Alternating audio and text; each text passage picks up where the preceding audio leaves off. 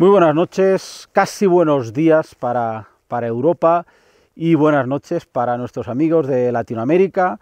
Está todo preparado para eh, la observación de la lluvia de estrellas de ETA, de las ETA acuáridas. La verdad que aquí eh, en Tenerife, en las Islas Canarias, Observatorio del Teide, la noche es verdaderamente espectacular. Nos ha costado un poco levantarnos tan temprano, aquí ahora mismo son las cinco y media de la mañana, pero eh, bueno, debíamos esperar a, esta hora eh, por varios motivos. el primero, ya no tenemos luna, con lo cual la noche está realmente negra, oscura. Repito, es una de, esas noches que, bueno, da gusto estar aquí en cerquita del Teide para contemplar el, firmamento. Ahora vamos a dar un paseo por, el firmamento. Y segundo, porque el radiante, ahora también iremos al radiante, de, las, de la lluvia de estrellas ahora justamente ya está por encima del horizonte y ya hemos visto eh, hemos contado alrededor ya de casi 10 etas acuáridas. Es seguro, vuelvo a repetir, que nuestros amigos de Latinoamérica em, tienen una actividad eh, más alta. ¿eh? Animo otra vez, animo a toda, a toda la gente que nos está viendo desde, desde Latinoamérica, sobre todo desde América del Sur, desde el hemisferio sur, que mm, salgan a ver el cielo el cielo abierto. Y si no tienen, si no tienen nubes, seguro que van a observar con los ojos, a simple vista, un bonito espectáculo. Vamos a dar un paseo, vamos a dar un paseo por, el, por este cielo que, repito, está, está espectacular, es una, una noche muy oscura, se acaba de esconder eh, la luna. Em, lo primero de todo, justo, justo eh, al fondo podemos ver la constelación de Casiopea, la famosa constelación de Casiopea, y si hacemos un pequeño movimiento de cámara, podemos ver la famosa estrella polar, a, que señala en este caso el norte. Recordar que en Canarias la estrella polar está a una altura respecto al horizonte de unos 28 grados, que es eh, nuestra latitud. Canarias está poquito más cerca del Ecuador que bueno, otros puntos europeos. De hecho, es el punto europeo más austral, a, bueno, dejando las, eh, la Guayana francesa y, eso bueno, pues nos va a permitir que podamos ver cierta actividad en la lluvia ah, de las eta, etacuáridas. Eh, vamos a seguir por el cielo y vamos a localizar al radiante, el punto desde donde parecen entrar a las estrellas eh, fugaces. Primero localizar al cuadrado de Pegaso, que es este cuadrado que vemos justamente aquí, está ahora mismo amaneciendo, espectacular esta luz que parece un foco de algún avión, pues no, no es ningún avión, es Venus, está ahora mismo también amaneciendo Venus, espectacular, el objeto, eh, ya sabéis, el objeto más brillante de los, de los cielos, un planeta, y el radiante se localiza, si seguimos estas dos estrellitas de Pegaso, el radiante estaría en la constelación de Acuario, que estaría localizado por aquí. Desde este punto es desde donde parecen nacer y radiar, de ahí el nombre de radiante, las estrellas fugaces, ¿de acuerdo? Las estrellas fugaces van a, van a, bueno, a formar trazas en estas direcciones, ¿de acuerdo? Por eso cuando uno observa una, una de estrellas es importante no mirar en el radiante, en la dirección del radiante, porque aquí las, las trazas, la longitud, ahora mismo acaba de pasar una, no sé si la ha pillado la, cámara, impresionante, impresionante. Eh, eh, y bueno, hemos visto que tenía una traza, incluso ahora ha habido aquí un fogonazo, un punto de luz, es probable que también sea una estrella fugaz. Repito, cerca del radiante, ostras, otro fogonazo, pues igual es un satélite. Vamos a ver esta zona, a ver si se vuelve a iluminar. Puede ser un satélite, sí, es un satélite, no sé si se ve en la cámara, un satélite que por rotación nos va dando destellos de luz. Muy bonito. Ah, cerca del radiante, repito, la, longitud de las trazas es cortita, eh, por eso tenemos una cámara del cielo, a ver en realización si podemos ir a la cámara del cielo, ah, que está apuntando a una zona cerca de la osa mayor. A ver si se ve mi láser, está por esta zona de aquí, y esperamos en esa cámara del cielo, que después la vamos a dejar permanente, eh, si vemos alguna uh, eta acuárida, tendrá una traza muy larga, será espectacular. Repito, tenemos dos cámaras mirando permanentemente al cielo.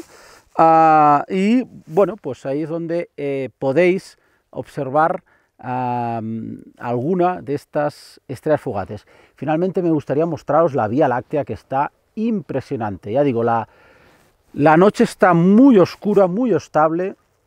Hoy seguro que en La Palma mis compañeros están muy contentos porque la verdad que podrán llegar a ver objetos muy débiles eh, porque, repito, ahora que se ha ido la luna, eh, la noche está eh, muy oscura. Esta zona de aquí es el, bueno, pues nuestra, parece una nube, pero es el, plano galáctico, el, cerquita del centro galáctico, eh, eh, ya estamos viendo la, Vía Láctea de verano, eh, ahora, está, ahora mismo está, al final de la noche ya empieza a verse el cielo que tenemos en verano, y me gustaría ah, señalar este puntito también brillante, que es el planeta Saturno, este objeto que vemos aquí, es Saturno. La verdad que hoy la noche es espectacular porque ahora mismo tenemos a Venus, tenemos a Saturno y bueno, ya, ya está casi escondido, pero también teníamos a Júpiter. Y finalmente, si seguimos paneando, a ver si se puede también mostrar esta constelación que es muy bonita,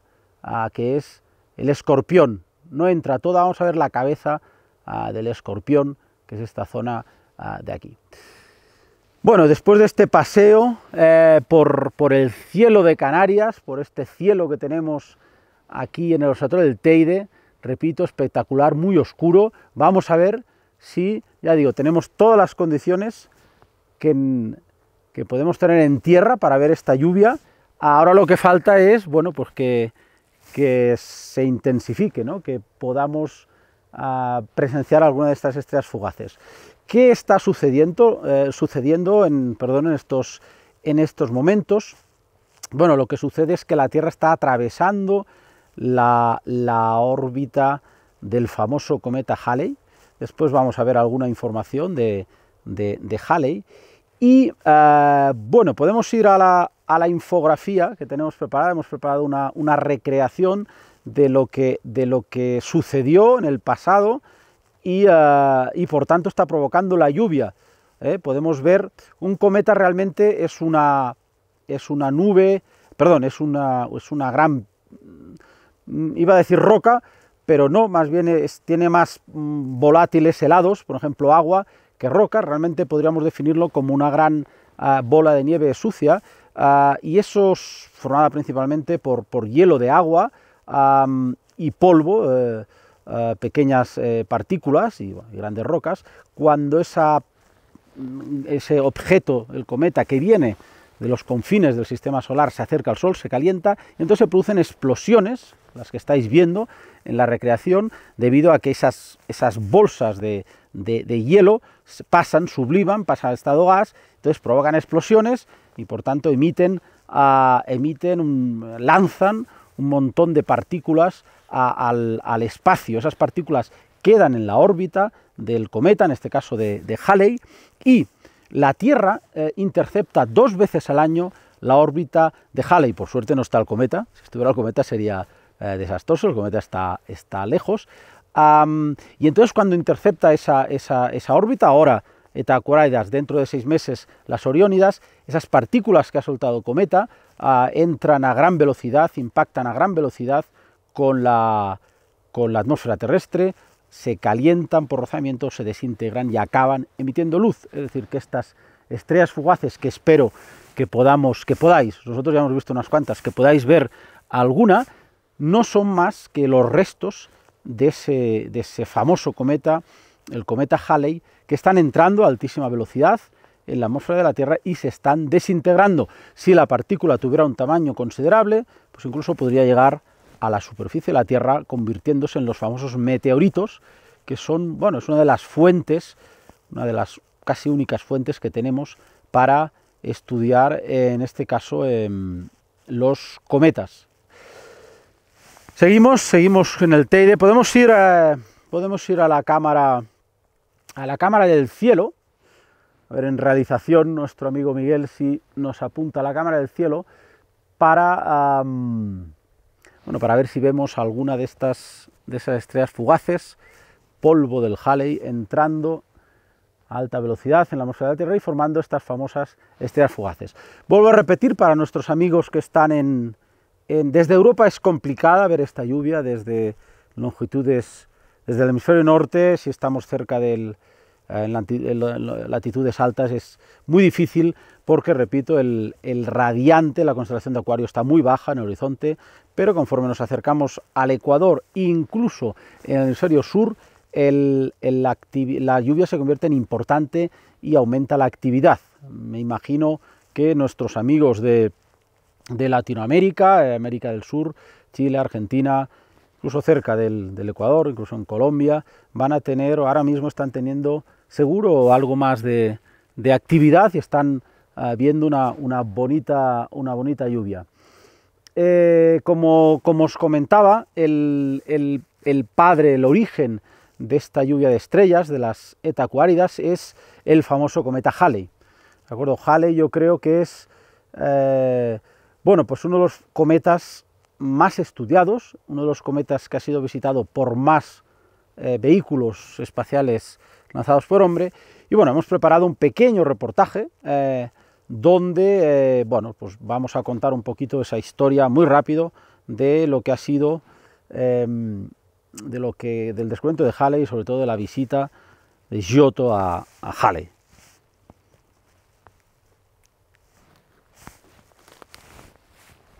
Bueno, lo que estamos viendo, como digo, es el, el primero el descubrimiento de Halley. pues no, no, hace falta decir que fue por un astrónomo inglés, Edmund Halley. Se produjo en el siglo XVIII. Realmente el cometa ya había sido observado por otros eh, por otras gentes, ¿no? incluso, eh, incluso astrónomos, eh, incluso antes de, Cristo, en, épocas remotas. Recordar que Halley tiene un periodo de 75 años, 76 para ser más exactos, a del Sol, pero es, es, es este Halley el que realmente lo define como un objeto periódico.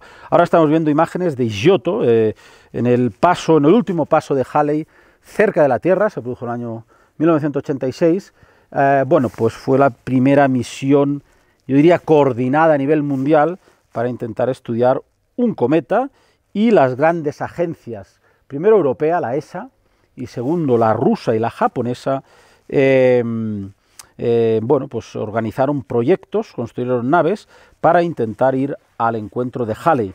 Estamos viendo ahora la, órbita de Halley. Halley viene de, eh, un lugar, una zona muy lejana del sistema solar, lo se llama la nube de Oort. Aquí vemos la órbita de Halley muy inclinada respecto a la Tierra. Y bueno, lo que, lo que en el año 86, antes de 86 sucedió, es que eh, cinco naves se fueron al encuentro de, de, Halley. Primero llegaron las naves eh, japonesas, que estamos viendo el despegue de la, de la, nave japonesa, y después llegaron la, la rusa.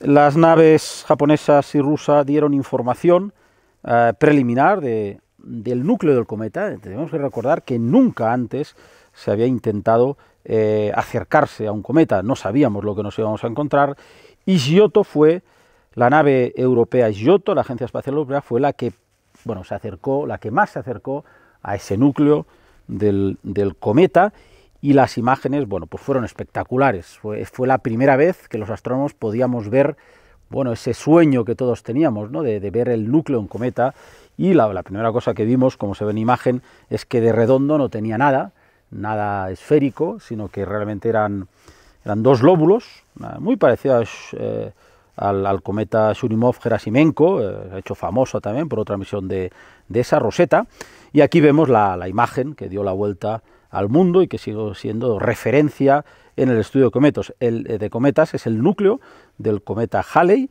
emitiendo ese polvo, lo que veíamos en la recreación, bueno, esto es real, ese polvo que está emitiendo, ese vapor de agua, ah, y bueno, bueno, ya digo, fue realmente espectacular.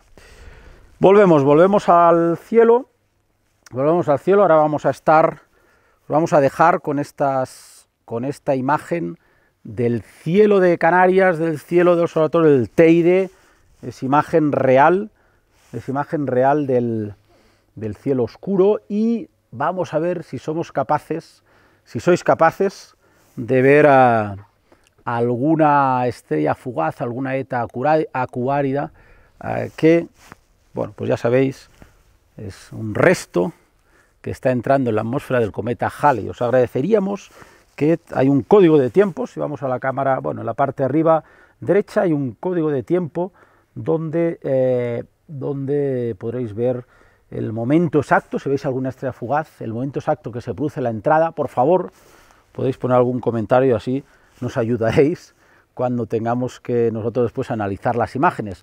Vuelvo a repetir, esta imagen, esta cámara está apuntando a, la osa a la osa mayor, no la vemos toda, una cámara pequeñita, y también vemos dos cúpulas del observatorio del Teide, la cúpula en primer plano, estamos viendo Qatar, ah, un, un telescopio para descubrir y estudiar exoplanetas, y al fondo vemos la cúpula del telescopio YACE 80, un telescopio de casi un metro de diámetro, del Instituto de Astrofísica de Canarias, que en este momento ah, bueno, pues está apuntando a algún lugar del firmamento y desarrollando algún programa de investigación de astronomía.